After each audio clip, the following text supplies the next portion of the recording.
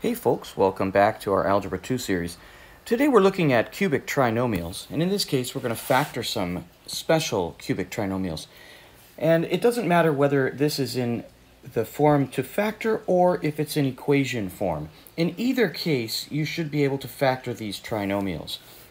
And we're, under, we're working under the premise that if a cubic trinomial is factorable, then it's factorable under some special circumstances. And I'd like to show those to you today.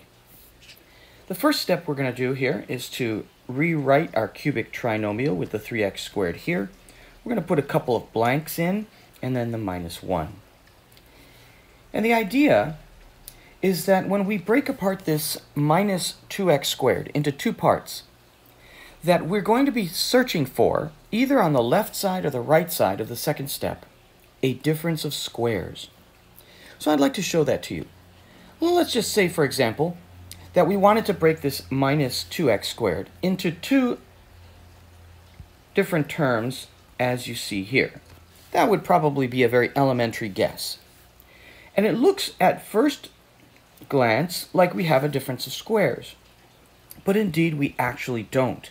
This is a sum of squares if we factor out that negative, and that's not factorable. So in this case, we would not want to try that as our first example. Instead, we'd want to try a positive x squared.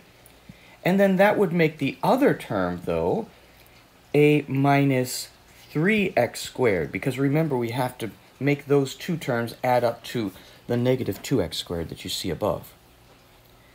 Well, now we do have a, a difference of squares in the second step. Let's see if this works out for us. This is x minus 1 times x plus 1. And this first term, the two parts, factor out the common term 3x squared. And that gives us x minus 1. Now here we are with a problem that began with three terms added and subtracted, and now we only have two terms. In the first term, we have a common value with the second term, x minus 1. We'll factor that out front, leaving us with 3x squared plus this remaining term over here, x plus 1. Now, just to point out that we do need to inspect this trinomial to see if it is factorable, but in this case it is not. It's pretty clear to see that. Let's move on to example number two. In example number two, we see that the x is to the first power, so that when we write 2x cubed and we break apart our 7x, it's going to have to go um, into two parts such that the difference of squares is now going to be on the left side so I want to break this apart, but I also notice that there's a 2 in front of this x cubed. And if I'm going to have a difference of squares, that 2 is definitely going to get in the way. So whatever we choose for this value here next to the 2x cubed, it has to be twice as big as a perfect square. So in the case of x squared minus 1, I would want to put a 2x there. In the case of x squared minus 4, I'd want to put an 8x there. So I notice that 8x is a little closer to 7, so I'm going to go ahead and try with the 8x here. You can almost mentally try these. If that's the case, then I have to add back 1x in order to get the 7 in the, in the first step, or in the original problem. Let's work this one more step. Factoring out the 2x gives us x squared minus 4, and there's our difference of squares, plus x plus 2. I'm going to Write that in parentheses just for clarity.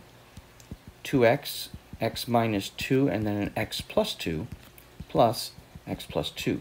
Now let's all be clear on the idea that there are two terms here. There's the first term, there's the second term. This is like a massive binomial. And in there, I have my common values of x plus 2. So they'll be factored out. x plus 2. And what's left over is 2x times x minus 2 as a quantity and then plus 1. There's that relic left from the fact that we factored out the x plus, uh, 2 there. As we work this one more step, we get x plus 2. We get 2x squared minus 4x plus 1.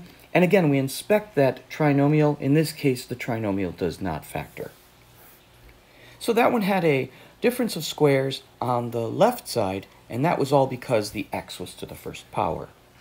Going on to the third problem, this one we have a very large number in the middle, And so when we have x cubed and we're trying to break the 171 apart, we use the 26 to help us out here. Excuse me. We know that 26 is 2 times 13, but we also notice that 13 squared is 169, and that number is very close to 171. Since we're trying to get a difference of squares on the left, because this x is to the first power, we're going to write minus 169x. So that's a very large number there, but again, it was made that way because of the 171. Minus 2x. And notice that even the 2 comes into play here. As we factor out our x, we get x squared minus 169. We factor out the 2, and that gives us x plus 13. So you see that both of these numbers kind of helped us a little bit in that we used them throughout the problem. At this point, you've probably figured out the next few steps, but I'll go ahead and finish this for you anyway. In the first part, we're going to factor as a difference of squares and then note which term we're going to factor out here. Um, also, it's important to use parentheses so we get the right factor. Sometimes if you make a sign error, you can accidentally have a minus in there and then you'd pull the wrong one out. In this case, we want to pull the proper value out, which is x plus 13, leaving us with x times x minus 13. And if you want, you could multiply those here and then put them in there. If you want to go one step faster, I like to bring every step in when I'm doing it on this uh, video so we can all see what's happening. Now I'm going to go ahead and distribute, so x squared minus 13x minus 2. Now in all three of these examples, our trinomial did not factor. However, it's important to note that oftentimes this trinomial will be factorable. I hope that's helpful for you. Um, I will do another session of this with a little harder examples, but these are some basic ones that you might come across. Cubic trinomials.